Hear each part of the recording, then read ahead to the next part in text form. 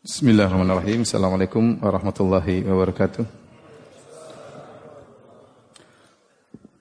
Alhamdulillahi ala ihsanih wa syukru lahu ala taufiqihi wa amtinanih wa asyhadu an la ilaha illallah wahdahu la syarika lahu ta'ziman li sya'nih wa asyhadu anna Muhammadan abduhu wa rasuluhu da'i ila ridwanih Allahumma salli alaihi wa ala alihi wa ashabi wa ikhwani hadirin dan hadirat yang dirahmati oleh Allah Subhanahu wa taala kita lanjutkan bahasan kita dari surat Al-Kahfi sebelumnya tolong dekat-dekat ya karena banyak kawan-kawan yang masih di belakang ya tolong maju ya.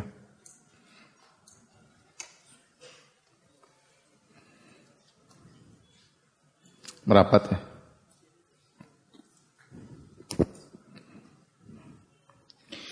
Kita masuk pada ayat yang ke-48. Kata Allah Subhanahu wa taala, "Wa aridu ala rabbika saffan laqad ji'tumuna kama khalaqnakum awwala marrah." bal za'amtum allan naj'alakum mau'ida dan mereka yaitu manusia seluruhnya akan dipaparkan dihadapkan di hadapan Tuhanmu dengan berbaris. Laqad ji'tumuna kama khalaqnakum awwala marrah. Sungguhnya kamu datang kepada kami sebagaimana kami menciptakan kalian pada kali yang pertama bal za'amtum allan naj'ala lakum mau'ida bahkan kamu kalian menyangka bahwasanya kami sekali-sekali tidak akan menetapkan bagi kalian perjanjian. Ayat ini kelanjutan daripada ayat sebelumnya. Allah bercerita tentang pada hari kiamat ya, di mana Allah mengatakan wa taral arda barizatan wa hasyarnahum falam nughadir minhum ahada. Kau akan melihat ya bumi ya dalam kondisi barizah ya yaitu datar semuanya dan semua manusia dikumpulkan di atasnya, tidak seorang pun yang lolos dari pengumpulan tersebut. Semuanya dikumpulkan di padang mahsyar. Kemudian mereka dipaparkan wa uridu, mereka dipaparkan. Ard artinya dipaparkan ala rabbika di hadapan Rabb mereka soffan, yaitu setelah Allah Subhanahu wa taala datang pada hari kiamat untuk lifaslil qada untuk mulai uh, persidangan ya. Maka wa uridu ala rabbika saffan. Maka mereka pun dipaparkan di hadapan Allah dengan bersaf. Ada yang mengatakan satu saf. Ada yang mengatakan bersaf-saf. Intinya mereka berbaris bersaf-saf untuk disidang oleh Allah Subhanahu wa taala. Lantas Allah berkata laqad ji'tumuna kama khalaqnakum awwala marrah sungguh kalian telah datang kepada kami sebagaimana kami ciptakan kalian pertama kali ya Pembicaraan ini ditujukan kepada orang-orang yang mengingkari hari kebangkitan. Maka Allah mengejek mereka dengan berkata, Laqad ji'tumuna, sungguh kalian telah datang kepada kami. Kalian mengatakan tidak akan ada hari kebangkitan. Bukan tidak ada, bahkan sekarang sudah tiba di hadapan di hadapan kami. Dibangkitkan dan sekarang tinggal diperiksa, tinggal di di sidang. Kama khalaqnakum awwala marrah dan kalian datang dalam kondisi sebagaimana kami menciptakan kalian di pertama kali, yaitu manusia pertama kali uh, dilahirkan sebagaimana dalam ayat yang lain ya uh, kama ba'da kama ba'nakum awwala khalqin ya nu'idu ya. Uh, sebagaimana kami mula permulakan penciptaan kami akan ulangi lagi yaitu manusia tatkala dibangkitkan sebagaimana dia baru dilahirkan tanpa harta ya tanpa pakaian tanpa apa-apa ya yang tersisa hanyalah amal soleh. Hanyalah amal soleh. Tapi kondisi mereka dibangkitkan sebagaimana kata Nabi SAW, yuhsyarun nasu yaumal qiyamati hufatan uratan gurlan buhman. Manusia dalam kondisi hufatan tidak memakai alas kaki, uratan tidak berpakaian, gurlan belum disunat, buhman tidak bawa harta sama sama sekali. Kama bada'na awwala khalqin nu'iduh sebagaimana kamu memulai penciptaan manusia dilahirkan dari perut ibunya. Dalam kondisi demikian nu'idu kami akan mengulangi lagi. Dan itulah kondisi manusia. Ya tatkala mereka dibangkitkan oleh Allah Subhanahu wa taala.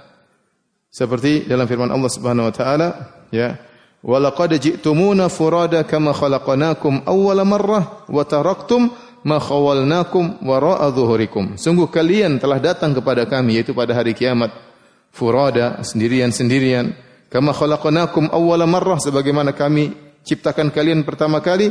Wa taraktum ma khawwalnakum wara'a dhuhurikum dan kalian meninggalkan seluruh nikmat yang pernah kami berikan kepada kalian di belakang kalian yaitu harta tidak ada yang dibawa. Itulah yang disebut oleh Nabi SAW dengan buhman. Tidak ada yang dibawa. Jangankan harta sendal tidak punya. Hufatan tidak pakai sendal. Jangankan harta baju tidak punya. Uratan tidak memiliki baju sama sekali maka semua dibangkitkan dalam kondisi demikian tidak ada pangkat tidak ada jabatan bahkan belum disunat bahkan belum disunat untuk disidang oleh Allah Subhanahu wa taala. Terus Allah mengatakan kepada mereka, "Bal za'amtum allan naj'al lakum mau'ida" dan kalian menyangka bahwasanya kami tidak akan ya membuat bagi kalian perjanjian yaitu perjanjian hari kebangkitan kalian waktunya kapan Allah sudah tentukan. Perjanjian kapan kalian dikumpulkan Allah sudah tentukan.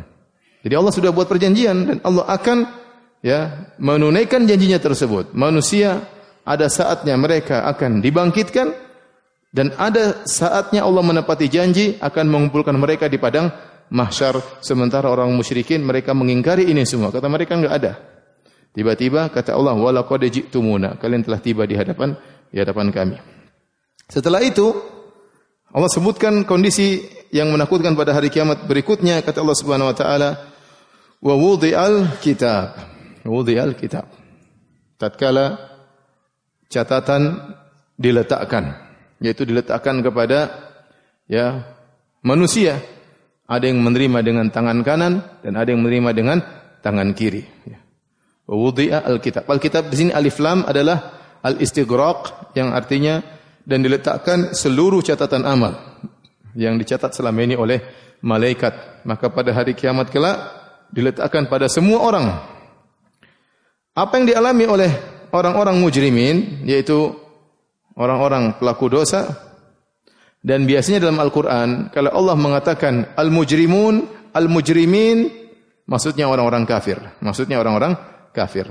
Maka bagaimana kondisi mereka kata Allah fataral mujrimina musfiqina mimma fi. Maka kau akan melihat orang-orang yang pelaku dosa akan ketakutan dengan apa yang terdapat dalam buku catatan amal tersebut. Mereka ketakutan. Karena mereka tahu mereka melakukan dosa. Dan pada hari kiamat Allah akan membuat mereka ingat dengan seluruh dosa-dosa yang pernah mereka lakukan. Ya, sebagaimana firman Allah Subhanahu wa taala, "Fa idza ja'ati tamatul kubra yauma yatadzakkarul insanu ma'a ma sa'a." Jika telah tiba malapetaka yang besar itu pada hari kiamat, maka manusia akan ingat seluruh yang pernah dia kerjakan. Para pelaku dosa, mereka ingat seluruh yang pernah mereka kerjakan. File mereka dibuka oleh Allah Subhanahu wa taala. Daya ingat mereka kuat, diingatkan oleh Allah Subhanahu wa taala. Sehingga sebelum dibuka buku tersebut mereka sudah ketakutan. Ya, mereka sudah ketakutan. Apalagi tatkala dibongkar di hadapan mereka. Mereka takut karena mereka ingat apa yang telah mereka kerjakan dan mereka tahu semua telah tercatat. Yang kedua mereka takut dipermalukan di hadapan khalayak karena orang-orang kafir dipermalukan oleh Allah Subhanahu wa taala. Ini dua ketakutan yang berkumpul pada diri mereka. Wa yaquluna dan mereka berkata setelah mereka dibukakan mereka lihat ya. Allah mengatakan ikra kitabak. Ya. Kafa bi nafsika al-yawma 'alaika hasiba. Bacalah catatan amalmu. Sungguhnya cukuplah engkau menjadi penghitung pada hari tersebut. Engkau menjadi saksi juga. Catatannya semua terbuka ya. Kata para ulama, semua orang akan bisa membaca catatan amalnya. Baik orang yang pandai baca atau yang buta aksara, dia akan bisa baca pada hari tersebut. Namun kita tidak tahu Allah alam bisawab, apakah catatan tersebut berupa tulisan atau catatan tersebut berupa visual, ya, karena itu semua mungkin di sisi Allah Subhanahu wa taala. Semuanya mungkin di sisi Allah Subhanahu wa taala. Ya, dan sekarang saja flash disk kecil bisa menyimpan berbagai puluhan giga ya yang berisi berbagai macam file video ya visual banyak sekali ya. Maka mudah bagi Allah untuk membuka catatan amal manusia pada hari kiamat kala. Apakah berupa tulisan ataukah berupa visual wallahu alam bisawab. Yang penting ya kata Allah yalqahu mansyura dia akan mendapati buku tersebut langsung terbuka. Dia tidak mau buka pun terbuka di hadapan dia. Allah berkata, "Iqra kitabak." Bacalah catatanmu. Maka dia ketakutan Setelah dia baca, ternyata semua perkara-perkara diperlihatkan oleh Allah. Bahkan yang kecil-kecil. Maka kata Allah, wa yaquluna ya wailatana. Mereka berkata, celaka kita, mali hadzal kitab. Kitab apa ini? La yughadiru saghiratan wala kabiratan illa ahsaha. Tidak ada satu perkara yang kecil maupun yang besar kecuali semuanya tercatat oleh kitab tersebut. Wa wajadu ma amilu hadira, mereka mendapati apa yang telah mereka kerjakan semua hadir di hadapan mereka. Ini saya katakan bisa jadi berupa tulisan, berupa teks, bisa jadi berupa apa? Visual. Kita nggak tahu. Tapi akan dibuka catatan tersebut.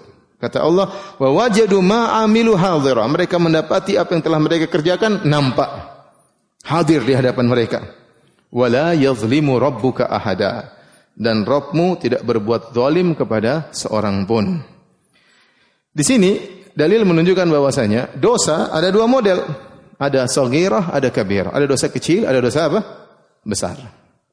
Dan kitab ini ya menunjukkan bahwasanya mereka orang-orang mujrimin ini diperlihatkan dosa-dosa kecilnya dan mereka tahu mereka akan binasa gara-gara dosa kecil tersebut Terlebih lagi terhadap dosa-dosa besar. Sebagian ulama berpendapat, fatarul mujrimin kau akan melihat para pendosa, termasuk di sini adalah para pelaku maksiat dari kaum muslimin. Tadi sudah saya sampaikan, kebanyakan mayoritas ulama ahli tafsir mengatakan, kalau datang lafal mujrim dalam Al-Quran, maksudnya orang kafir. Maksudnya orang apa? Orang kafir. Mujrim secara bahasa artinya pelaku dosa. Tetapi istilah mujrimin, mujrimun dalam Al-Quran maksudnya adalah orang-orang kafir. Orang-orang kafir jelas. Mereka disiksa karena dosa besar dan mereka juga disiksa karena dosa apa? Dosa kecil. Allah maha adil. Allah maha adil. Oleh karenanya ketika Allah menyebutkan tentang orang-orang di neraka sakor, masalakakum fi sakor. Apa yang buat kalian masuk dalam neraka sakor? Maka orang kafir berkata, qalu lam nakum minal musallin. Kami dulu tidak salat. Ini membuat tidak salat kami membuat kami masuk neraka jahanam. Walam naku nut'imul miskin. Kami dahulu tidak beri makan kepada fakir miskin. Pelitnya mereka tidak beri makan kepada fakir miskin juga dosa membuat mereka masuk apa? Neraka jahanam. Wa kunna nakhudhu ma'al. Kami dahulu tenggelam dalam menjelek-jelekan Islam. Wa kunna nukadzibu biyaumiddin. Kami dahulu juga mendustakan adanya hari kebangkitan. Jadi ternyata mereka disiksa oleh Allah Subhanahu wa taala secara detail baik dosa-dosa berkaitan dengan akidah, mendustakan hari kebangkitan, bahkan dosa yang berkaitan amaliyah, pelit, tidak memberi makan kepada fakir, fakir miskin. Ayat ini lebih detail lagi menunjukkan bahwasanya mereka akan disiksa gara-gara dosa besar dan gara-gara dosa kecil. Makanya ditampakkan Allah Maha Adil. Saya sering sampaikan hal ini. Makanya di neraka ada namanya darokat. Kalau di surga darojat, naik ke atas. Di neraka darokat. Tidak semua orang kafir sama. Orang kafir yang baik, murah senyum, suka menolong, ya. Nerakanya lebih di atas. Orang kafir yang brengsek, ya. Ya, kemudian suka mengganggu kaum muslimin, mau mengambil daerah kaum muslimin, mengambil laut kaum muslimin. Nerakanya lebih di mana? Di bawah, ya. Ya, beda antara orang kafir yang baik dengan orang kafir yang apa? Mujrimin, yang menzalimi, berbuat zalim. Sampai dosa-dosa kecil pun Allah kumpulkan. Jadi antum kira cuma antum saja nanti yang dihisap oleh Allah gara-gara lihat cewek, orang kafir juga. lihat cewek, aurat orang, dihisap oleh Allah tidak? Dihisap. Dihisap. Makanya Allah mereka berkata, "Mali hadzal kitab? Kitab apa ini menakjubkan sekali. La yughadiru saghiratan wala kabiratan illa ahsa." Tidak ada perkara kecil yang besar kecuali dia catat semuanya. Ya, kecuali dicatat semuanya. Jadi ini dalil menunjukkan ada dosa kecil, dosa besar. Nah, sebagian ulama memandang mujrimin, fataral mujrimin, kau melihat para pelaku dosa, termasuk juga adalah kaum muslimin yang melakukan dosa-dosa. Namun timbul pertanyaan, bukankah Allah mengatakan ya, orang-orang beriman kalau melakukan dosa-dosa kecil ya, kemudian dia menghindarkan dirinya dari dosa-dosa besar, maka dosa-dosa kecilnya akan terampuni. Ya, dan ini dalam Al-Quran ada, dalam hadis ada. Seperti kata Nabi SAW, Salawatul khams wal umrah, Ramadan ila Ramadan wal umrah ila umrah, kafaratun lima bainahunna idha batil kabair. Kata Nabi SAW, salat lima waktu, salat Jumat sampai Jumat yang lain, puasa Ramadan, Ramadan yang satu sampai Ramadan yang lain, umrah yang satu sampai umrah yang lain akan menghapuskan dosa-dosa di antara keduanya jika dijauhi dosa-dosa besar. Berarti dosa-dosa kecil diampuni. Demikian dalam Al-Quran sudah pernah kita sampaikan dalam surat An-Najm, Alladzina yajtanibuna kaba'iral ithmi wal fawahisha illa lamam. Itu orang-orang yang mereka menjauhkan diri mereka dari dosa-dosa besar dan dosa-dosa yang keji, kecuali dosa-dosa kecil. Diampuni oleh Allah Subhanahu wa taala. Taib. Kalau mujrimin di sini maksudnya orang-orang kafir, jelas. Dan ini pendapat mayoritas apa? Ulama. Bagaimana kalau mujrimin di sini dimaksudlah orang-orang Islam? Kenapa Allah perlihatkan dosa-dosa kecil? Bukankah telah dimaafkan dosa-dosa kecil jika seorang meninggalkan dosa-dosa besar?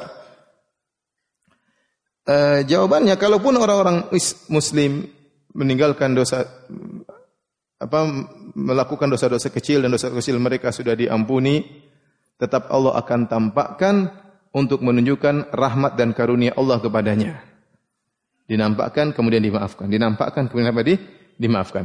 Tapi ala kulihal, pendapat yang lebih tepat, mujrimin di sini maksudnya adalah orang-orang apa? Kafir. Sebagaimana pendapat mayoritas ulama. Taib. Kita lanjutkan. Kata Allah Subhanahu wa taala, orang-orang kafir mereka berkata, "Celaka kami. Mali hadzal kitab la yughadiru saghiratan wala kabiratan." Ini kitab apa ini? Tidak meninggalkan yang kecil pun semua dicatat, ya. Kenapa didahulukan dosa kecil sebelum dosa besar. La yughadiru saghiratan wala kabiratan illa ahsaha. Ini kitab macam apa ini? Tidak ada yang kecil-kecil maupun yang besar kecuali dia catat. Ada beberapa hikmah kata para ulama tafsir.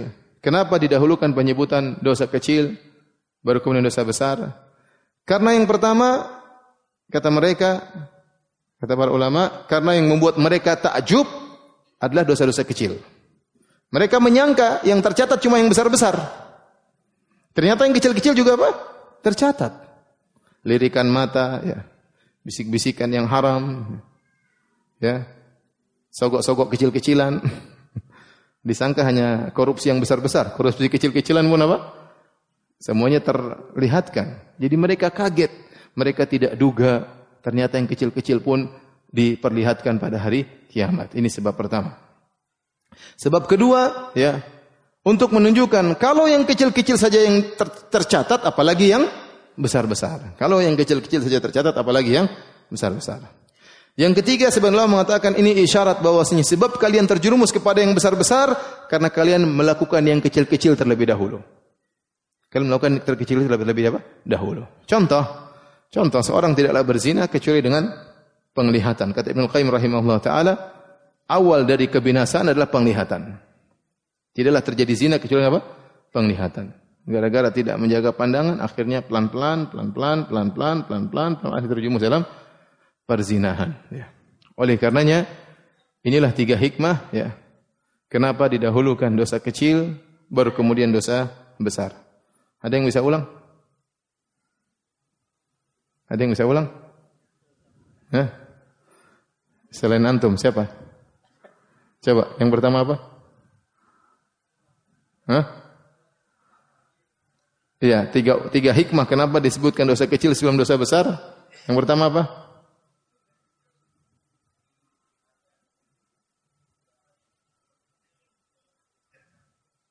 Ulang yang pertama apa? Karena suatu kecil dapat diperlihatkan, maka dia kaget. Yang kedua?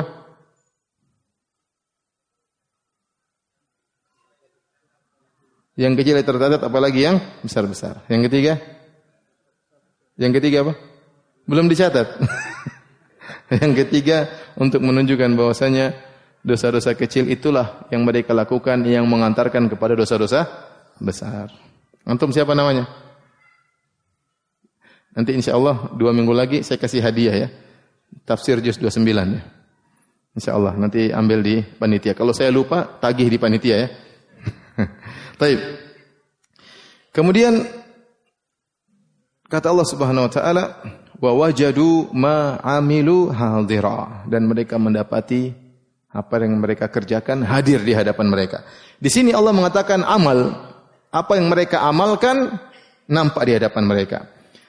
Banyak orang menyangka namanya amal, Jadi kata Allah, mereka mendapati apa yang telah mereka amalkan di dunia hadir di hadapan mereka. Banyak orang menyangka namanya amal cuma perbuatan tubuh, mukul, melihat, ya, mendengar itu amal. Tidak. Kata para ulama, amal di sini umum.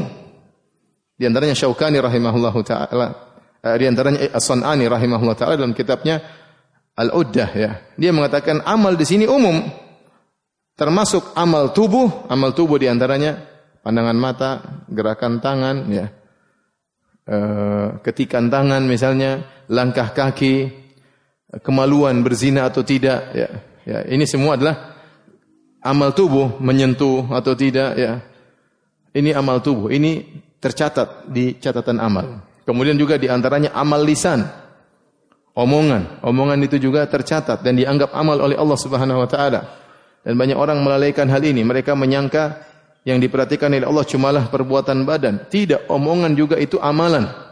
Bahkan Allah turunkan ayat khusus ma yalfidhu min qaulin illa ladaihi raqibun atid. Tidak ada satu lafal pun yang keluar kecuali ada malaikat raqib dan atid mencatat. Berarti apa yang kita ucapkan juga apa? Amalan. Kemudian di antaranya amalan hati.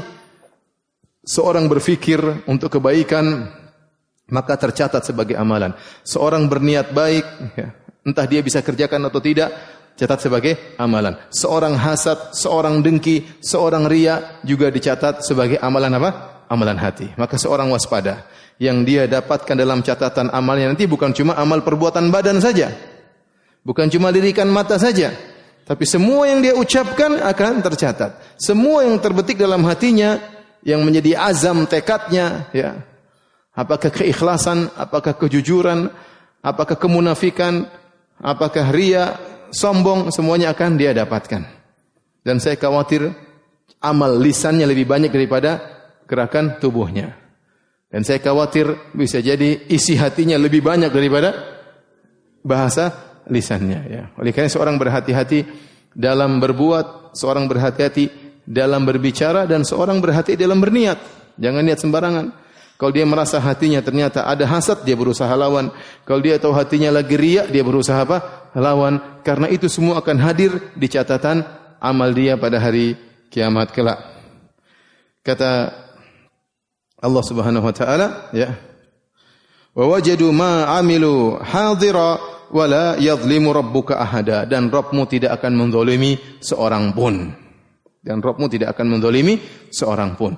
Dia akan di siksa, diazab berdasarkan catatan amal. Allah tidak tambah, Allah tidak kurangi. Makanya saya katakan Allah detail kata Allah walikullin darajatun mimma amilu. Setelah Allah menyebutkan kaum muslimin, Allah menyebutkan kaum kafirin, Allah menyebutkan kaum muslimin, Allah mengatakan walikullin darajatun mimma amilu. Masing-masing punya derajat sesuai yang mereka kerjakan. Artinya apa? Penghuni surga bertingkat-tingkat, penghuni neraka juga bertingkat-tingkat, tidak disamakan sebagaimana tadi saya sebutkan. Dan Allah tidak mendolimi seorang pun. Ini juga dalil di antaranya bahwasanya kalau satu kata datang dalam bentuk nakirah dalam konteks penafian maka memberikan faedah keumuman. Kalau kita artikan Allah tidak mendolimi seorang pun seluruhnya tidak ada yang didolimi oleh Allah Subhanahu Wa Taala. Kalau seorang diazab maka memang dia pantas mendapatkan azab tersebut. Bagaimana tidak? Allah telah larang dia. Allah kirim seorang rasul. Allah turunkan Al-Quran. Allah jelaskan kepada dia Allah munculkan para dai untuk mengingatkannya. Allah pasang dalam hatinya sinyal untuk mengingkari hal tersebut, tapi semua dia langgar, dia ikut hawa nafsunya. Dia tidak peduli. Allah sudah ingatkan kau akan masuk neraka jahanam dan dia tidak peduli. Maka jika Allah adab dia, Allah tidak zalim sama sama sekali. Allah tidak zalim sama sama sekali. Wala yadhlimu rabbuka ahada. Allah tidak zalim sama sekali. Makanya seperti dalam hadis uh, Sahibul Bitaqah. Ya. Hadis yang masyhur. Tatkala kata Nabi sallallahu alaihi yusahu bi rajulin min ummati alal khalaiq dipanggillah salah seorang dari umatku dari umat Muhammad sallallahu alaihi wasallam dihadirkan di hadapan khalayak umum disebutkan wahai fulan dipanggil namanya maka dia pun hadir Allah sidang dia di hadapan khalayak Fayun syarulahu tis'atun wa tis'una sijillan. Kullu sijillin madul basar. Lantas dibuka catatan amalnya 99 gulungan. Setiap gulungan dibongkar, dipaparkan sejauh mata memandang isinya maksiat yang dia lakukan. Maka Allah bertanya kepada dia, "Hal zalamaka katabatil hafizun? Apakah malaikat-malaikat malaikat-malaikatku yang bertugas catat mendolimimu? Coba kau cek, mungkin ada dosa yang salah catat. Kau ngelihat cuma satu jam film nggak benar, malaikat tulis satu setengah jam. Kau nonton bioskop cuma dua jam, malaikat tulis empat jam, malaikat mungkin salah catat. Ya. Kau goda istri orang lima menit, malaikat catat sepuluh menit. Kau goda perempuan si fulanah, malaikat tulis tiga perempuan. Apakah malaikat ada salah catat? Kau korupsi lima ratus juta, malaikat catat enam ratus juta? Kata dia tidak ada yang salah catat, semuanya benar. Jadi Allah tidak mendolimi apa? Siapa pun. Semua tertera sesuai dengan apa yang dilakukan selama di dunia. Baik. Setelah itu Allah Subhanahu wa taala ya menyebut tentang kisah permusuhan iblis terhadap Adam alaihissalam. Jadi Allah Subhanahu wa taala tidak menzalimi seorang pun. Akidah Ahlussunnah wal Jamaah. Akidah Ahlussunnah wal Jamaah yakini. Kalau Allah mau berbuat zalim, Allah mampu. Enggak usah Allah, kita manusia berbuat zalim bisa atau tidak? Bisa, tapi Allah tidak mungkin berbuat zalim karena Allah mengharamkan dirinya untuk berbuat apa? Zalim. Kata Allah Subhanahu wa taala dalam hadis qudsi, "Ya ibadi, inni haramtu dzulma ala nafsi faj'altuhu muharraman bainakum fala tadzalamu." Wahai hamba-hambaku, sungguhnya aku telah mengharamkan kezaliman atas diriku dan aku menjadikan kezaliman haram di antara kalian, maka janganlah kalian saling menzalimi. Tapi kalau Allah mau berbuat zalim, Allah mampu atau tidak? Mampu, tapi itu tidak pantas dengan sifat keadilan Allah Subhanahu wa taala, ya. Ini akidah Ahlussunnah wal Jamaah, ya. Berbeda dengan akidah Asy'ariyah, tapi ini perlu dibahas pada tauhid asma wa sifat. Tapi intinya demikian. Inilah yang diyakini oleh akidah Ahlussunnah wal Jamaah Allah mengharamkan kezaliman pada dirinya berarti Allah sebenarnya mampu tapi Allah mengharamkan. Sebagaimana Allah mewajibkan suatu perkara yang tidak wajib bagi Allah Subhanahu wa taala sebagai bentuk karunia kepada hamba-hambanya. Ya. Makanya Allah berkata ke, dalam hadis kata Nabi kepada Muaz bin Jabal, ya, "Atadri haqqullahi 'alal ibad wa haqqul ibad 'ala Allah?" Wahai Muaz, tahukah engkau hak Allah terhadap hamba dan tahukah engkau hak hamba terhadap Allah? Yaitu hak hamba terhadap Allah itu Allah wajibkan dirinya ya Allah yu'adziba man la yusyrik billahi syai'a. Allah tidak akan mengazab seorang yang tidak berbuat syirik sama sekali. Yaitu Allah mewajibkan dirinya untuk tidak mengazab orang yang tidak berbuat syirik sama sekali. Terkadang Allah mewajibkan dirinya terkadang Allah mengharamkan sesuatu yang Allah mampu melakukannya tapi Allah haramkan. Baik kita lanjutkan. Selanjutnya Allah berbicara tentang permusuhan yang lama antara nenek moyang kita dengan nenek moyang setan ya. Iblis dan Adam alaihissalam. Kata Allah Subhanahu wa taala, "Wa idz qulna lil malaikati isjudu li Adam fasajadu illa iblis." Dan tatkala kami berkata kepada para malaikat, "Sujudlah kalian kepada Adam." Maka mereka sujud kecuali iblis. Kana minal jinni fa fasaqa an amri rabbih Iblis adalah dari golongan jin dan dia mendurhakai perintah Tuhannya. Dia mendurhakai perintah Tuhannya. Taib. Uh, jadi perintah untuk sujud kepada Adam sudah Allah kabarkan kepada malaikat dan iblis sebelum Allah ciptakan Adam. Allah sebelum ciptakan Adam, Allah sudah ingatkan nanti kalau dia sudah diciptakan sujud sama dia. Begitu Adam sudah diciptakan, Allah suruh sujud lagi, penekanan dua kali. Seperti dalam surat Al-Hijr kata Allah Subhanahu wa taala, "Wa idz qala rabbuka lil malaikati inni khaliqun basharan min salsalin min hama'im masnun, fa idza sawaituhu wa nafakhtu fihi min ruhi faqa'u lahu sajidin." Kata Allah, tatkala Allah berkata kepada para malaikat, ya sungguhnya aku akan menciptakan manusia ya dari tanah ya Kemudian kata Allah, "Fa idza sawaituhu," kalau saya sudah sempurnakan penciptaannya, wa nafakhtu fihi min ruhi dan aku tiupkan ruh kepadanya, faqa'u lahu sajidin, maka hendaknya kalian sujud kepada Adam. Jadi sebelum Allah ciptakan Allah sudah kabarkan. Jadi berita tentang akan diciptakannya Adam sudah heboh. Ha, malaikat tahu, iblis juga apa? Tahu. Dan Allah sudah ingatkan nanti kalau saya ciptakan Adam, kalian harus sujud. Ketika Allah menciptakan Adam, Allah juga nyuruh malaikat, "Wa idz qulna lil malaikati isjudu li Adam fasajadu." Tatkala kami cipta kami perintahkan kepada malaikat, sujudlah kepada Adam, maka mereka semua sujud illa iblis kecuali iblis. Iblis tidak mau sujud. Di sini ada khilaf di kalangan para ulama. Apakah iblis dari golongan jin atau iblis dari golongan malaikat?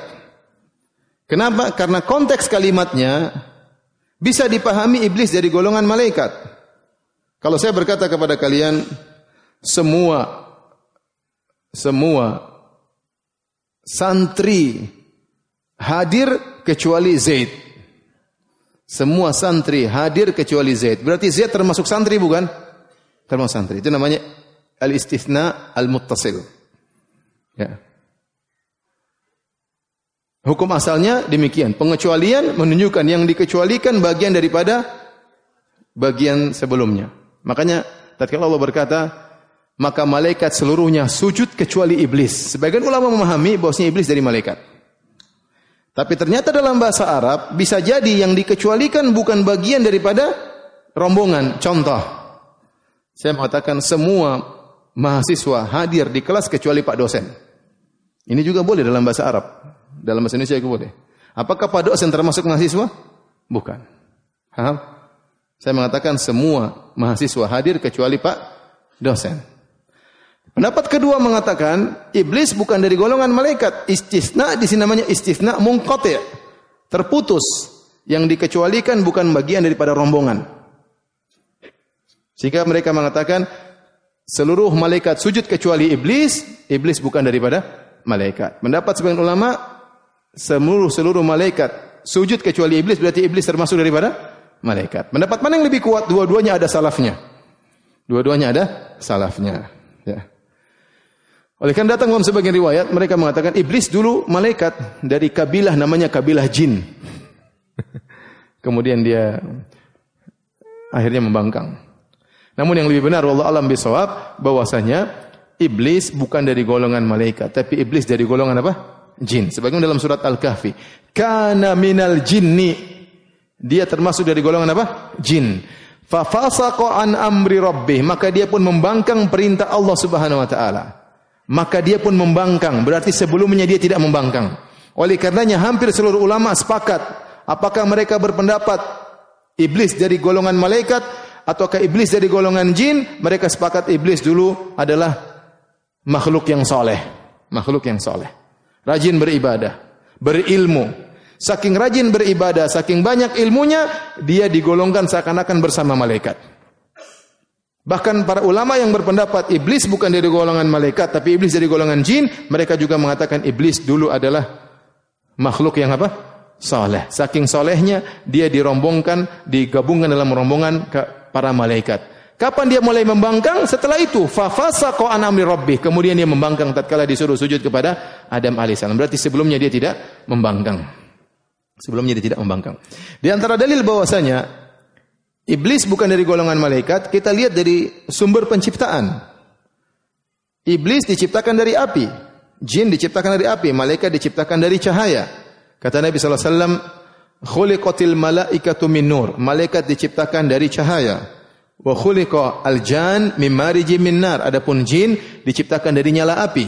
Wa khuliqa Adam mimma wusifalakum. Adapun Adam diciptakan dari tanah sebagaimana dijelaskan kepada kalian. Tatkala unsur penciptaannya berbeda, ini menunjukkan iblis bukan dari golongan apa? Malaikat, tapi dari jin.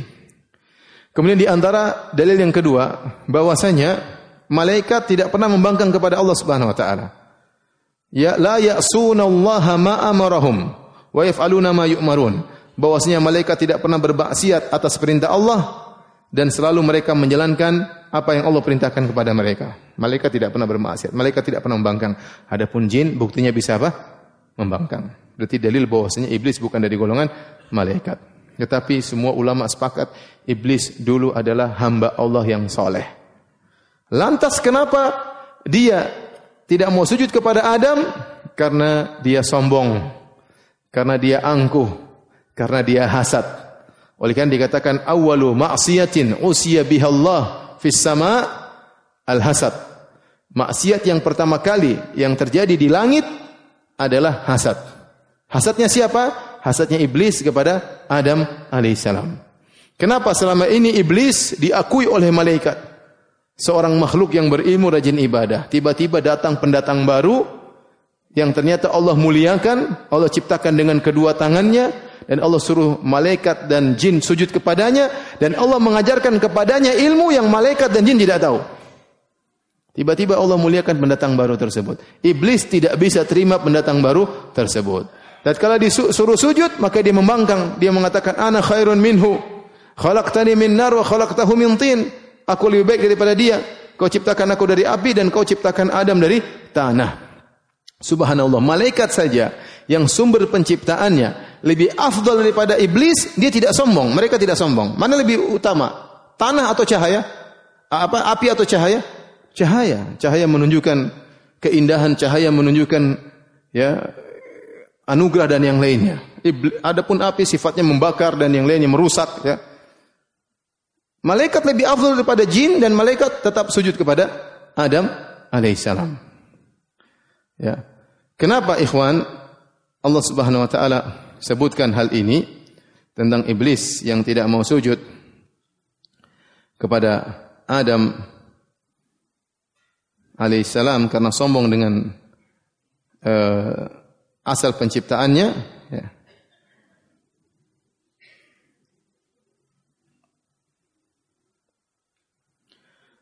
Dikaitkan kata sebagian ulama dikaitkan dengan surat Al-Kahfi ayat 28 yang sebelumnya. Surat Al-Kahfi ayat 28 di mana Allah berfirman, "Wasbir nafsaka ma'al ladzina yad'una rabbahum bil ghadati wal ashi yuriduna wajhah wa la ta'du aynaka anhum turidu zinatal hayatad dunya." Sabarkanlah dirimu bersama orang-orang yang berdoa kepada Rabb mereka di pagi hari dan di sore hari dan mereka ikhlas dan jangan kau lewatkan pandanganmu meninggalkan mereka menuju kepada perhiasan dunia. Kita sudah jelaskan ayat ini, bosnya orang-orang musyrikin yang kaya raya, mereka datang kepada Muhammad SAW, mereka mengatakan, wahai Muhammad, kalau kalian kau ingin kami beriman, tinggalkanlah orang-orang apa? Miskin tersebut. Kenapa? Kami orang kaya. Ya, kami orang kaya lebih baik daripada orang miskin. Maka sebetulnya mengatakan ini adalah metode iblis. Tatkala mengukur keterbaikan dengan perkara duniawi. Padahal Allah menjadikan barometer kebaikan adalah dengan apa? Dengan amal soleh. Iblis dia mengatakan saya lebih baik daripada Adam, dia bukan tinju dari amal dia, dia tidak mengatakan saya lebih banyak rajin ibadah tidak, tapi dia menjadikan landasan mengatakan dia lebih baik daripada Adam adalah dengan perkara duniawi. Itu perkara materi, yaitu saya sumbernya dari apa? Api. Adapun Adam dari apa? Tanah. Tentunya bantahan terhadap iblis banyak ya. Sudah pernah saya sebutkan dalam penjelasan kisah Nabi Adam. Namun di antaranya kita katakan siapa yang bilang api lebih baik daripada tanah. Ya. Api banyak bikin kebakaran, api tidak bisa diatur. Adapun tanah sumber kebaikan, pohon tumbuh dari tanah, manusia tinggal di tanah, sungai adanya di tanah, lautan adanya di tanah, kehidupan di tanah. Siapa bilang api lebih baik daripada tanah? Itu kan otak ente iblis ya. Jadi ente sudah mengkiaskan dan kiasnya salah. Sisi bantahannya banyak ya. Ya kita perlu bela, bela nenek moyang kita ya. Taib. Jadi eh, Allah menyebutkan tentang iblis yang merasa dirinya lebih hebat gara-gara dia terbuat dari api untuk mengingatkan kepada orang musyrikin yang merasa mereka, lebih hebat dari kaum muslimin gara-gara punya harta yang banyak. Itu metode iblis. Itu metode iblis ya. Kata Allah Subhanahu wa taala ya, bagaimana iblis kana minal jinni maka dia membangkang karena dia hasad kepada Nabi Adam alaihissalam ya fafasaqa an amri rabbih maka dia pun membangkang kepada perintah Allah Subhanahu wa taala. Baik. Di sini ada suatu hal yang aneh. Sebagian orang-orang sufi di antaranya Al-Hallaj yang punya akidah wahdatul wujud ya yang kalau antum baca biografinya lucu ya dalam kitab Syiar Alam Nubala. Al-Halaj ini ngaku sebagai Tuhan. Dia bisa membuat apa saja. Bahkan terkadang di musim kemarau dia bisa mendatangkan buah-buah yang tidak muncul kecuali di musim dingin. Maka murid-muridnya semua heran, "Ya Tuhan, lihat kalian ingin buah-buah dari musim dingin, dia datangkan buah dan anak buahnya pun makan." Tentunya dia dibantu oleh jin ya. Tapi intinya dia dia hebat. Terkadang dia datang kepada sebagian orang, dia bilang, "Apa yang kau inginkan? Aku akan kabulkan permintaan." Ya. Datang lagi kepada seorang ulama, dia mengatakan, "Wahai si fulan, apa yang kau inginkan? Akan aku kabulkan." Kata ulama ini, "Saya sudah tua, saya ingin muda kembali." Kata kata Halaj yang aku Tuhan, kalau itu tidak bisa. Satu hari dia datangkan buah dari surga. Kata dia ini buah dari surga. Cering, dia berikan kepada anak buahnya. Kepada murid-muridnya. Murid-muridnya lihat kok ada ulatnya. Kata dia, ya guru kami, kenapa buah dari surga ada ulatnya? Itu karena proses apa namanya kargo yang tidak beres ya. Maksudnya proses pengiriman yang bermasalah. Jadi dia ini mengatakan bahwasanya iblis tidak mau sujud kepada Adam menunjukkan iblis bertauhid. Karena sujud kepada selain Allah adalah syirik. Iblis tidak mau sujud kepada Adam karena dia bertauhid. Bahkan dia rela dilaknat oleh Allah demi mempertahankan tauhidnya. Ini perkataan siapa? Al-Hallaj. Demikian juga perkataan dari Abdul Karim Al-Jili. Al-Jailani ini bukan bukan Abdul Qadir Jailani, namanya Abdul Karim Al-Jili. Abdul Karim Al-Jili seorang tokoh sufi juga yang sempat dibuat risalah doktorah tentang pemahaman-pemahamannya. Abdul Karim Al-Jili. Dia mengatakan orang ahli tauhid dua. Yang ahli tauhid, tahu ahli tauhid di langit, di bumi adalah Muhammad SAW, ahli tauhid di langit adalah siapa? Iblis. Dia bertauhid tidak mau sujud kepada selain Allah Subhanahu wa taala. Dan termasuk yang terpengaruh adalah Al-Ghazali dalam kitabnya Ihya Ulumuddin. Saya bacakan saya nukil langsung dari PDF-nya Ihya Ulumuddin. Al-Ghazali berkata dalam Ihya Ulumuddin dia mengatakan Faman arafa Allah Ta'ala arafa annahu yaf'alu ma yasha wa la yubali. Barang siapa yang mengenal Allah maka dia tahu Allah melakukan apa yang Allah kehendaki dan Allah tidak peduli. Artinya Allah melakukan apa saja tidak masalah bagi Allah. Ini pemikiran Al-Ghazali. Allah melakukan apa saja Allah tidak peduli. Wa yahkumu ma yurid wa la yakhaf dan Allah berhukum dengan apa yang dia kehendaki dan dia tidak takut. Kemudian dia berkata, di antara bukti Allah melakukan apa yang Allah kehendaki tanpa Allah pedulikan, qarrabal malaikata min ghairi wasilatin sabiqatin. Allah mendekatkan para malaikat kepada Allah tanpa ada wasilah, tanpa ada ibadah yang sebelumnya. Dan ini tidak benar. Kemudian beliau berkata lagi, Ya, semoga Allah mengampuni beliau. Wa ab wa ab'ada iblisa min ghairi jarimatin sabiqatin dan Allah menjauhkan iblis dari rahmatnya padahal tidak ada dosa sebelumnya. Padahal tidak ada dosa apa? Sebelumnya. Ini dibantah oleh banyak ulama pernyataan ini. Ya, karena iblis berdosa, gimana tidak berdosa? Disuruh oleh Allah tidak mau nurut. Dan malaikat didekatkan oleh Allah karena malaikat ahli ibadah. Ya, Malaikat rajin beribadah, malaikat la yafturun, la yasamun. Kalau malaikat malaikat sudah beribadah tidak pernah capek, tidak pernah bosan. Iblis melakukan dosa, disuruh sujud kepada Adam dia tidak mau apa? Sujud, ya. Maka ini salah satu kesalahan dari Al-Imam Al-Ghazali dalam kitabnya Ihya Ulumuddin. Oleh karenanya para ulama khilaf tentang kitab Ihya Ulumuddin. Sebagian ulama mengagungkan kitab ini karena berisi tentang akhlak dan yang lainnya. Sebagian ulama mengatakan bakar kitab ini karena isinya banyak kerusakan, di antaranya akidah-akidah yang menyimpang salah satunya adalah ini.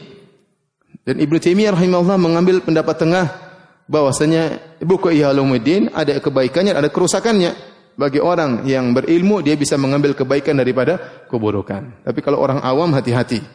Ya, orang apa?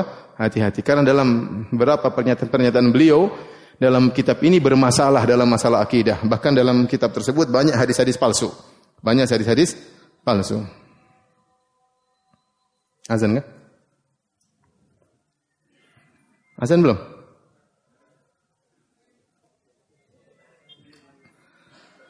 Satu menit lagi ya. 60, 59, 58. Jadi eh, yang benar ketika Allah menyuruh malaikat sujud kepada Adam, ada yang mengatakan bukan sujud ibadah, tapi sujud tahiyat, sujud penghormatan. Seandainya malaikat sujud kepada Adam tanpa perintah Allah, maka itu maksiat.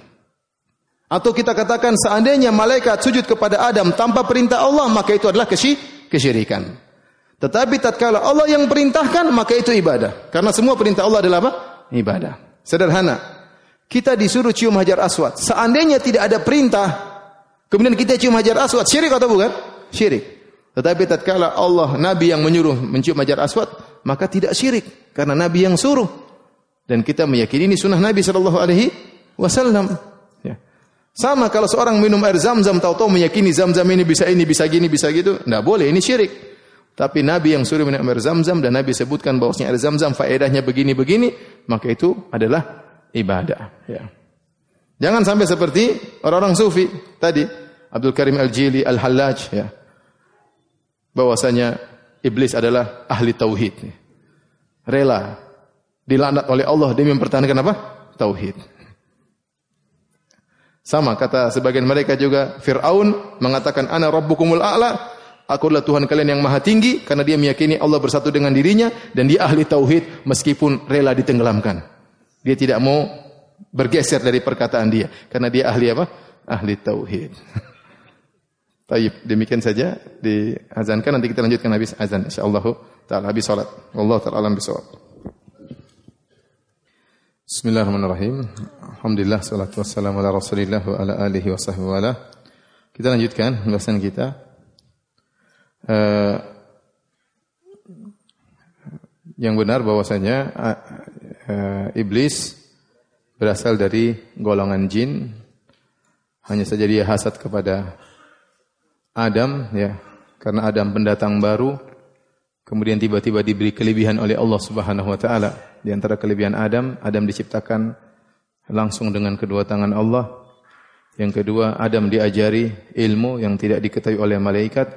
Yang ketiga, Adam menyuruh Allah menyuruh malaikat dan iblis untuk sujud kepada Adam. Ini menjadikan iblis hasad kepada Adam. Akhirnya dia tidak mau dan membangkang atas perintah Allah Subhanahu wa taala, maka seorang berusaha menjauhkan dirinya dari penyakit hasad.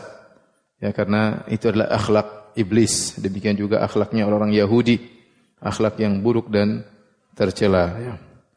Kemudian kata Allah fafasaqa an amri rabbih. Iblis fasik yaitu keluar dari perintah Allah dan kita tahu kefasikan ada dua. Ada kefasikan akbar yang itu merupakan kekufuran sebagian dalam ayat ini ya dalam ayat ini Allah mengatakan fafasaqan amri rabbih iblis pun fasik kepada perintah Allah maksudnya kefasikan akbar ya. Dan terkadang fasik maknanya bukan fasik akbar tapi fasik asgar, fiskun asgar seperti sabda Nabi sallallahu alaihi wasallam uh, sibabul muslim fusukun mencela mencaci maki seorang muslim adalah kefasikan ya. bukan kekufuran tapi apa kefa kefasikan Kemudian kata Allah Subhanahu wa taala setelah menjelaskan tentang sikap iblis kepada Adam, kata Allah afatattakhidunahu wa dzurriyyatahu awliya'a min duni wa hum lakum adu. Bi'sa lidh-dhalimina badala. Apakah kalian menjadikan iblis dan keturunannya sebagai wali-wali selain aku ya wa hum lakum adu padahal iblis dan keturunannya adalah musuh bagi kalian Seakan-akan tidak ada musuh kecuali bagi kalian. Wahum lakum adu. Artinya mereka itu iblis dan keturunannya musuhnya cuma kalian. Ya. Hidup di atas muka bumi tugasnya memusuhi kalian. Iblis tidak bikin masalah sama malaikat ya. Iblis tidak cari masalah sama apa? Malaikat. Iblis tidak cari masalah sama sapi dan kambing, tidak ya. Yang cari masalah dia kepada siapa? Manusia, kepada Adam dan keturunannya. Kalau kalian tahu bahwasanya iblis dan keturunannya adalah musuh khusus buat kalian, maka kenapa kalian menjadikan iblis dan keturunannya sebagai wali-wali kalian, sebagai penolong-penolong kalian, sebagai sembahan-sembahan kalian? Bi'salidh zalimina badala, maka sungguh buruklah iblis dijadikan pengganti bagi Allah yang dilakukan oleh orang-orang yang zalim. Orang-orang zalim harusnya menyembah Allah, mereka menjadikan iblis sebagai pengganti Allah untuk disembah. Ayat ini dalil bahwasanya iblis memiliki memiliki keturunan. Karena kata Allah afatattakhidunahu wa dzurriyyatahu apakah kalian menjadikan iblis dan keturunannya? Berarti iblis punya keturunan ya. Dan Ini juga diisyaratkan ya, bahwasanya iblis bisa beranak pinak seperti tatkala Allah menyebutkan tentang bidadari di surga ya. Kata Allah lam yatamithunna insun qablahum wala jan. Bahwasanya bidadari tidak pernah disentuh oleh manusia dan tidak pernah disentuh oleh jin ya berarti iblis bisa beranak pinak adapun bagaimana kawinnya bukan urusan kita ya terus bagaimana melahirkannya kandungannya berapa bulan enggak usah kepo ya enggak usah kepo ya. Ya udah biar yang penting dia punya apa? keturunan. Ya, iblis punya keturunan, manusia punya keturunan. Sebagian ulama mengatakan iblis adalah jin pertama sebagaimana Adam adalah manusia pertama. Sebagian ulama mengatakan iblis adalah jin pertama sebagaimana Adam adalah manusia pertama. Ulama mengatakan tidak. Iblis bukan jin pertama. Telah muncul jin-jin sebelumnya tapi mereka mati yang dibiarkan hidup melulu hanyalah siapa? iblis. Karena iblis adalah salah satunya jin yang ditangguhkan hidupnya sampai hari kiamat. Makanya iblis berkata, "Rabbi fa'anzirni ila yaumi yub'atsun." Ya Rabbku, tangguhkanlah kematianku sampai hari kiamat. Ini dalil bahwasanya iblis harusnya punya umur dan dia akan mati. Tetapi dia minta untuk ditangguhkan. Oleh karenanya keturunannya berupa jin-jin, maka mereka tidak panjang umur seperti iblis. Mereka juga hidup dan mereka juga apa? mati ya. Taib. Allah kita lanjutkan lagi dua pekan ke depan Allah taala. Kalau ada yang bertanya saya persilahkan. Wallahu taala alam bisawab.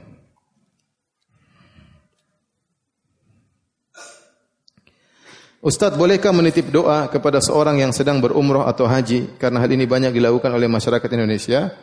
Ini di antara uh, eh, tawasul yang syar'i. Tawasul ada tiga yang disyariatkan. Pertama, tawasul dengan nama-nama Allah dan sifat-sifat Allah. Ya. Eh, kata Allah walillahil asmaul husna fad'uuhu biha.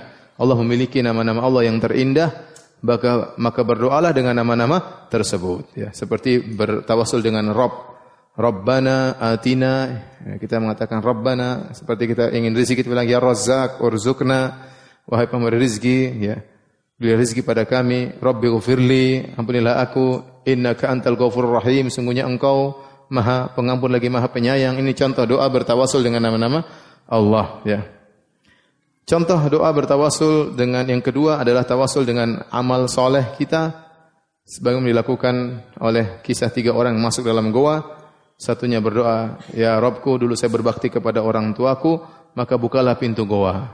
Yang satunya berkata ya Allah dulu saya dirayu untuk saya ingin berzina tapi saya tinggalkan perzinahan tersebut.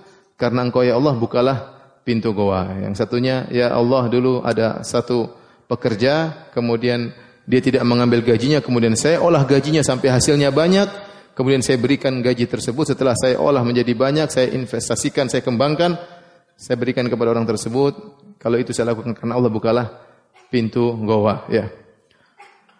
Uh, ini dalil bahwasanya bertawasul dengan amal soleh. Kemudian yang berikutnya bertawasul dengan doa orang-orang soleh atau doa orang-orang yang beriman. Maka ini diperbolehkan juga ya. Betapa sering ya, para sahabat minta didoakan oleh siapa? Nabi Shallallahu Alaihi Wasallam. Jadi tidak mengapa kita menitip doa kepada seorang yang hendak berhaji atau berumrah dengan mengingat dia akan berada di tanah suci, ya terutama di waktu-waktu yang suci 10 hari pertama Dhul Hijjah, kita boleh minta doa agar mereka mendoakan kita di tanah suci. Tapi uh, saya rasa doa, doa yang terbaik adalah doa dari diri sendiri. Jadi kita berdoa dan juga kita kuatkan dengan uh, seorang agar mendoakan kita. Tentunya kita meminta kepada orang yang tulus bisa mendoakan kita karena betapa sering kita minta doa sama orang lain ternyata dicuekin ya. Tidak didoain.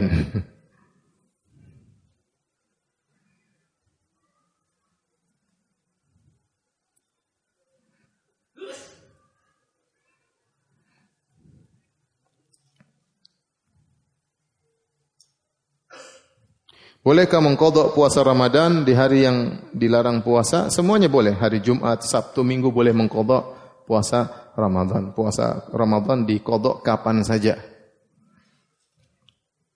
Kecuali Idul Fitri, jangan mengkodok. Ya. Idul Adha.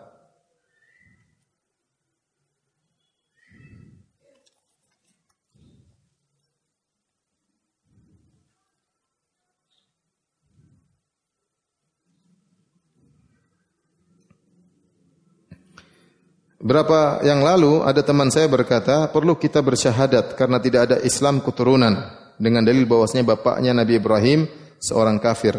Sedangkan Nabi Ibrahim Islam. Bagaimana menjawab syubhat ini? Lo bapakmu kafir atau Islam? Bapaknya Ibrahim apa? Kafir ya, anaknya belum tentu muslim. Kalau bapak kita orang Islam, asalnya kita orang Islam. Terlebih lagi datang dalam hadis kata Nabi sallallahu alaihi wasallam, "Kullu mauludin yuladu 'alal fitrah." Setiap anak dilahirkan dalam kondisi fitrah, dalam kondisi Islam.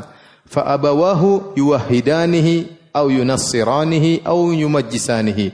Kedua orang tuanya lah yang menjadikan dia menjadi Yahudi, kedua orang tua lah yang menjadikan dia Nasrani atau Majusi. Berarti hukum asal seorang anak dalam kondisi apa?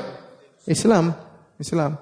Apalagi dia sudah melaksanakan kegiatan Islami yang tidak ada dalam agama lain. Contohnya dia sholat. Ya sudah, dia muslim. Tidak usah disuruh apa? Syahadah. Ini yang suruh ulang syahadah kurang kerjaan ya. Kurang kerjaan. Ini orang kita sudah sholat, kita sudah sunat lagi, sudah puasa, sudah kawin lagi, sudah macam-macam, sudah poligami lagi. Masih disuruh syahadat ulang. Ini kurang kerjaan ya.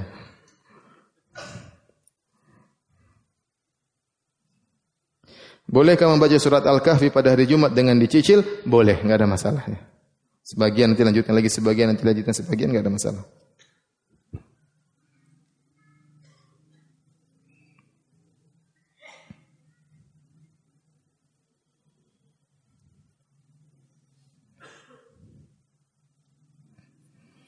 Saya pernah mendengar Nabi Khadir belum meninggal, masih hidup sampai sekarang. Bagaimana pendapat Ustaz? Insya Allah nanti kita jelaskan. Ya. Masih panjang surat Al-Kahfi ya. Nanti ada kisah Nabi apa? Khadir. Tapi kalau antum terburu-buru ingin tahu jawabannya, masuk aja ke YouTube, tulis kisah Nabi Musa dan Nabi Khadir, ada ceramah saya tentang hal tersebut. Situ ada jawabannya.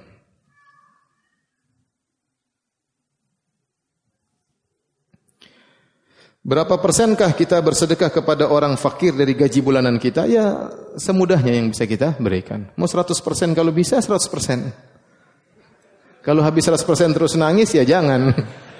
Yang sebisanya kebutuhan kita tercukupi, anak istri kita, sisanya mau sedekah terserah.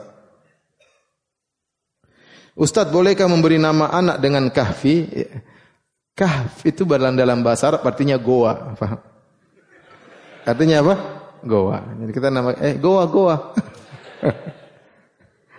goa atau gue ya. Jadi nggak nggak nggak tepat lah.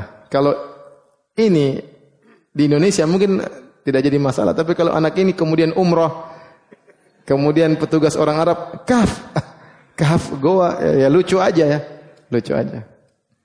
Ya. Jadi nggak pas lah kalau dijadikan nama apa? Nama anak ya, nggak pas.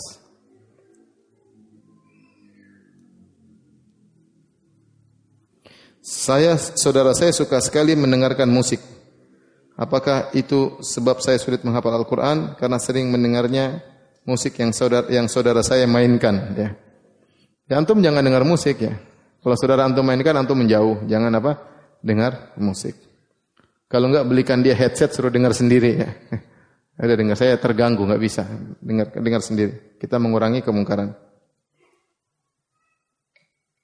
Salat dengan jumlah dua rakaat apakah ditutup dengan doa duduk tawarruk atau duduk iftirash? Yang benar dengan duduk iftirash. Pendapat madhab hambali. Ya, ini masalah khilaf saya sebutkan dalam uh, bekal salat. Silakan download bekal Islam ya. Silakan download bekal Islam gratis ya. Bukunya ada nanti tapi bayar kalau bukunya. Kalau apa namanya? kalau aplikasi bagi yang tidak punya duit gratis ya. Ini apakah salat syuruk termasuk salat duha? Salat syuruk dalam istilah para ulama itu salat yang dikerjakan di awal duha, di awal apa? Duha ya. Jadi dia bagian daripada salat duha ya. Tetapi ini pun dibangun di atas apakah hadisnya dhaif atau hadisnya sahih. Ada khilaf di kalangan para ulama tentang hadis berkaitan dengan salat syuruk yang dapat pahala seperti umrah atau seperti haji. Sebagian ulama mendhaifkan, sebagian ulama menghasankan. Di antaranya menghasankan ada Syekh Albani rahimahullahu taala. Cuma bedanya salat syuruk itu dikerjakan di masjid bagi seorang lelaki yang setelah salat dia duduk sampai waktu syuruk yaitu waktu duha. Waktu syuruk maksudnya waktu duha. awal waktu duha. Kemudian dia sholat, maka disebut dengan sholat syuruk. Adapun sholat duha dikerjakan di masjid boleh, di rumah juga apa? Boleh.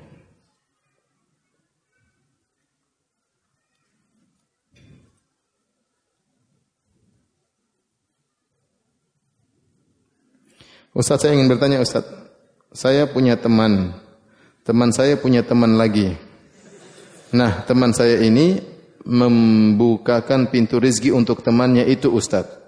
Dengan membantunya untuk bisa bekerja di tempat teman saya bekerja. Apakah teman saya ini termasuk melakukan amal jariah? Karena temannya teman saya itu bisa menikah dengan sebab bekerja di perusahaan tersebut Ustaz. Jazakallah khair ya. Iya.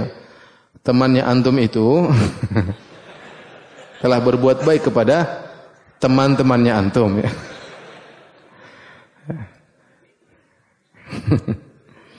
kalau dia niatkan karena Allah, teman antum itu kalau niatnya karena Allah membantu teman-temannya antum ya, maka insya Allah pahalanya mengalir selama dia bekerja di temannya antum ya.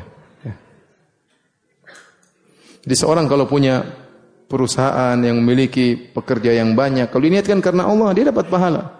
Bayangkan seorang punya perusahaan, pekerjanya 10 ribu orang. Dengan 10 ribu orang itu semuanya menafkahi anak istrinya. Dia bos. Kalau dia niatkan berusaha kerja serius agar bisa membantu mereka, maka dia dapat pahala.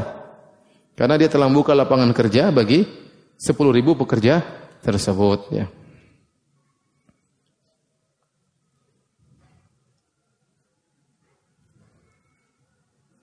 Ustadz, saya sudah lama tidak sholat. Namun setelah mengenal wanita yang sepertinya baik, saya jadi ingin menikah. Lalu juga ingin sholat. Jadi belum sholat sampai sekarang. saya khawatir keinginan saya sholat ini karena wanita. Saya khawatir niat saya ingin sholat didasarkan keinginan menikah dengan wanita. Saya khawatir berbuat syirik. Sampai hari ini saya tidak sholat. Tolong penjelasannya. Tidak apa-apa sholat aja. Mau karena wanita, mau karena apa, sholat saja. Masalah niat perbaiki yang penting kamu sholat dulu ya. Yang penting kamu sholat dulu. Sambil perbaiki niat bahwa saya niat karena Allah Subhanahu wa taala. Tapi sekarang tadi sholat isya tidak sama kita. Jadi sholat ya. Sholat sambil perbaiki apa? Niat. Jangan ikuti bisikan setan. Ah kamu sholat karena ria enggak sholat aja enggak karena sholat itu wajib. Mau ria enggak ria wajib apa? Sholat. Mau ria enggak ria wajib apa? Sholat. Sambil perbaiki niat Ustadz mau tanya kapan kajian tematik lagi? Mau dua minggu lagi? Dua minggu lagi nanti kita tematik ya. Kita tunda dulu surat Al-Kahfi. Temanya surat Al-Kahfi jilid ke-9. insya Allah nanti kita cari tema yang menarik dua minggu lagi insya Allah ta'ala. Ustadz baca surat Al-Kahfi dua kali malam Jumat dan siang hari. Ya terserah saja ya. Tapi yang disunahkan sekali sudah apa? Cukup ya. Malam atau apa? Siang. Kau ingin baca lagi nggak ada masalah.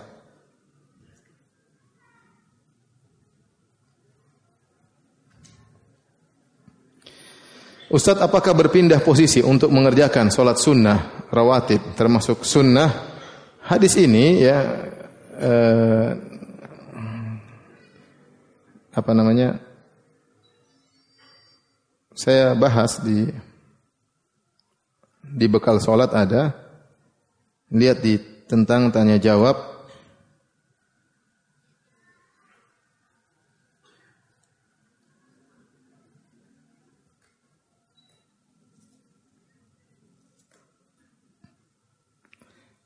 Intinya, saya ingin carikan dulu sebentar.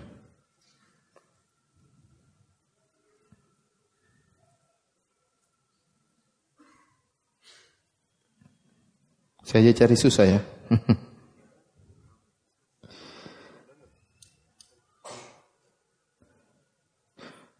Intinya, tidak boleh seorang menggabungkan antara solat fardu dengan solat sunnah langsung. Dia harus memisahkan antara solat fardu dengan solat sunnah. Cara memisahkan antara solat fardu dengan solat sunnah ada dua metode. Pertama, dia pindah tempat, ya. Yang kedua, dia berbicara ya atau dia berzikir maka sudah cukup. Jadi seorang tidak mesti pindah tempat, maju, mundur kalau seandainya setelah sholat dia berzikir. Zikir yang dia ucapkan itu sudah cukup memisahkan antara sholat fardu dengan apa sholat? Sholat sunnah.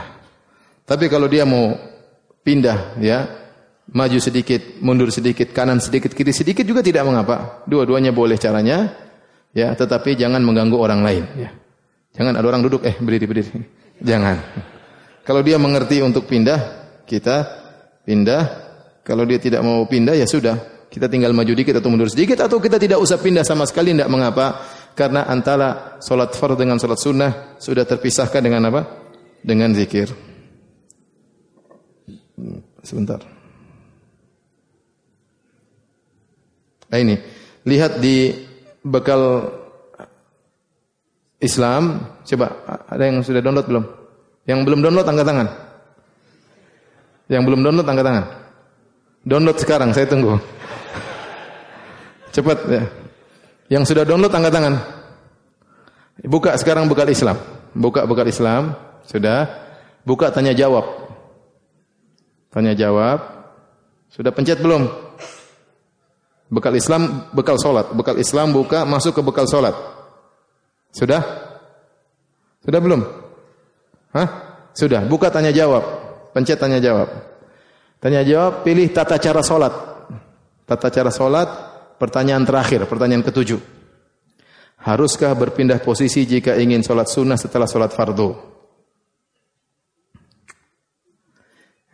Jawabannya, ya, disunahkan bagi orang yang selesai melaksanakan solat fardu dan ingin melaksanakan solat sunnah untuk memberi jeda atau pemisah antara solat fardunya dengan solat sunnahnya. Dan pemisah itu bisa dengan dua cara. Pertama dengan pembicaraan. Di antaranya seperti berzikir dengan zikir setelah solat fardu. Atau yang kedua berpindah tempat. Seperti ke posisi yang lain di masjid. Atau yang terbaik adalah pulang ke rumahnya. Itu lebih afdal. Hadis ini berdasarkan ya berdasarkan hadis pertama dari As-Sa'ib bin Yazid ya. Beliau berkata ya Salaitu ma'ahu al-jum'ah fil maqsurah itu aku salat bersama Muawiyah di satu tempat tertentu. Falamma sallama al-imam kumtu fi maqami fa sallaitu tatkala imam salam aku langsung berdiri salat. Falamma dakhala arsala ilayya kemudian dia pun mengirim orang kepadaku untuk menasihati aku. Dan dia berkata la ta'ud lima fa'alta jangan kau ulangi lagi. Jangan setelah salat fardu langsung apa? Salat sunnah. Idza sallaital jum'ah kalau kau salat Jumat Fala tasilha bi salatin. Jangan kau sambung dengan salat yang lain hatta takallam atau takhruj sampai kau bicara atau apa kau keluar. Fa inna Rasulullah amara nabi dzalik. Rasulullah sallam memerintahkan kami untuk melakukan demikian. Allah tu salatun bi salatin hatta natakallam atau nakhruj. Nabi melarang jangan kita menyambung salat dengan salat yang satunya, salat fardu dengan salat sunnah sampai kami berbicara atau kami apa? keluar. Maka kalau seorang sudah berzikir sudah cukup. Tidak usah dia maju mundur atau dia pindah tempat atau dia habis sholat dia keluar untuk cari tempat yang lain tidak jadi masalah. Dan ini berlaku untuk sholat Jumat dan yang lainnya. Adapun hadis Abu Hurairah Rasulullah SAW bersabda, ya, ayak jizu ahadukum an yataqaddama aw yata'akhir an yaminihi aw an shimalihi fi salati yakni nafilah. Apa kalian tidak mampu jika kalian sudah salat fardu untuk sholat sunnah, maju sedikit atau mundur sedikit atau ke kanan sedikit atau ke kiri sedikit untuk sholat sunnah. Maka hadis ini diperselisihkan oleh para ulama. Imam Bukhari menyatakan hadis ini apa? Dhaif. Ya. Taruhlah hadis ini sahih, maka kita bilang cara untuk memisahkan sholat fardu dengan sholat sunnah bisa dengan dua cara. Pertama dengan apa? Berbicara. Di antaranya dengan berzikir. Yang kedua dengan pindah apa? Pindah tempat. Jadi tidak harus kita pindah tempat.